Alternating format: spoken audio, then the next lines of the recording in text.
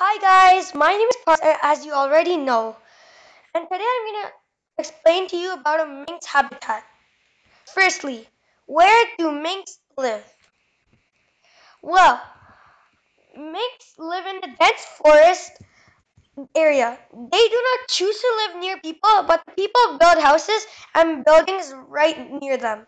Not knowing it will minimize their natural habitat, the reason I wrote mink's habitat is because 300,000 minks are killed just for their fur and are being held in a zoo rather than a natural habitat.